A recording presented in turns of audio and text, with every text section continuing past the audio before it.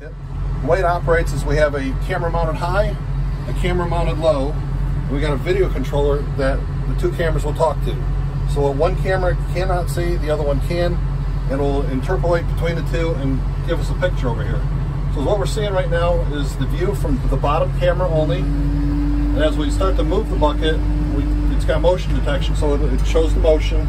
So this is the view from the bottom camera only. Now we'll switch to the top camera only. So there's my top camera.